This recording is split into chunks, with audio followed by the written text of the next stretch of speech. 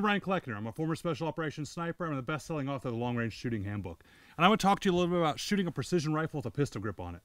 So whether you're shooting an AR-10 like this new Barrett Rec 10 or some of the more popular chassis systems that you'll see on bolt-action rifles, this pistol grip can actually be a hindrance if you're not careful. See, the idea of these pistol grips is a way to control a firearm better. Like on AR-style rifles, it allows you to get better control of the gun. But when you're shooting a precision rifle, that can be a bad thing. You see, most precision rifles are going to shoot better without you. The more control you impart on the gun, the less accurate it's actually going to be. So by using this to aid in controlling the gun, it can hurt. A way to mitigate that is stop using the pistol grip like a standard pistol grip when you're in a position like this and you don't need to hold the gun. When the rifle's rested like this, in order to get rid of that chance for me to impart too much control, all you do is you bring your thumb over to the other side.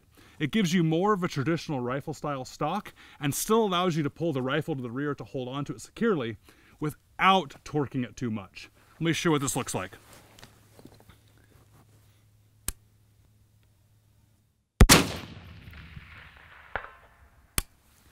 So it's still easy to shoot the rifle, you're not losing that much control, and it can really help with your accuracy. Something else to consider is if you notice, I use the safety on the right side of this gun.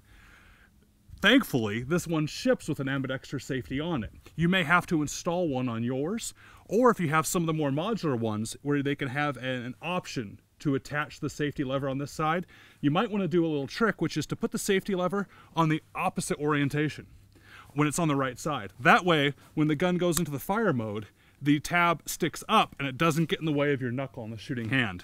Well, another benefit to this gun is if you notice, it's not a full 90 degree safety. So it allows me to put the gun on fire without it interrupting with my knuckle, and I can even, when I'm done shooting, take it off safe with my thumb. Next time you shoot a gun with a pistol grip, try this. I bet your grips might get better.